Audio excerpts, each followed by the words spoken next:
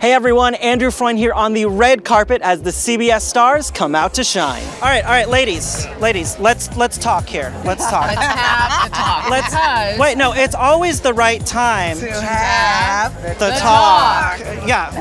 um, so tell me about you know this coming season. I know the show runs year round, but tell me about what we're going to see coming up.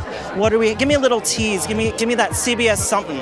Well, you know, whenever um, any show launches a new season, you want to do something a little bit different that sets it apart from last season, even though we run year round. So we have decided, I can't totally give it away, we're going to. It says this on my mic, Julie. Yeah, I know. In due time, we will announce it, but we're going to transform uh, the way we look. Yes, yes, yes. It's going to be a, uh, it's going to be, I think, a very revealing start to the season. Yes. So, so that do- that doesn't mean that you're going to come out in costume.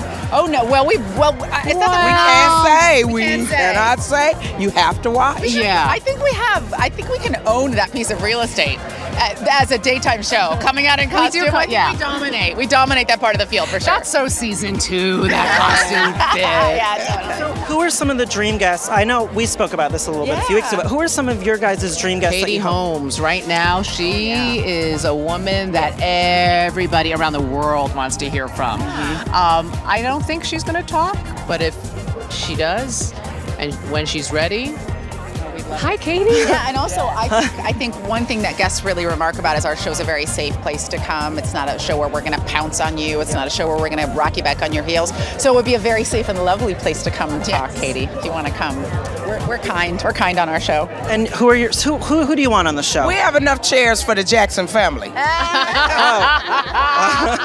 That's true. they're they're going through some things right now. Yeah. And we want to talk to them about what they're going through right now. Yes. Well, actually, I would just want Katherine to be honest right now. just Katherine yeah. by herself, Yeah. not surrounded by her children, not with a written statement. Just everything I've heard about Katherine is that she's a very kind, honest Yeah, woman. that's right. So I want her just by herself to great tell us what's up. Tell me a little about the social aspect of the show. I'll, I'll ask you first, actually. You know, you know, I know you guys are active on Twitter. I know you really want your fans to get involved in the show. Tell me about that. I mean, I think this year has been, we all bring our own uh, kind of s- social media strength to the show in different aspects. I mean, obviously, Julie's been doing Big Brother for 14 seasons. This is the 15th season now, 14th season.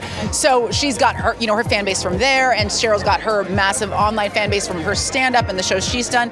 And I, I've been active online for a while now. So it's nice, I think we all bring a different slice of the new, of the social media world. This year's really been about us fine tuning that, really energizing our fans, really talking to them, getting them engaged, and also giving them the opportunity to get their comments heard on our show not just to comment and say to the to the ether hey i love the talk but to say to us here's how i feel about what you guys are talking about and then we actually bring their comments into the show and that's been something that's been really really successful i think Your two final thoughts on the social aspect of the show?